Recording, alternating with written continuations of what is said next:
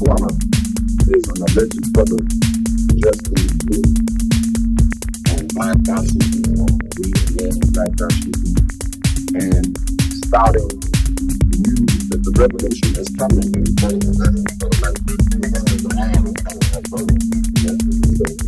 unfortunately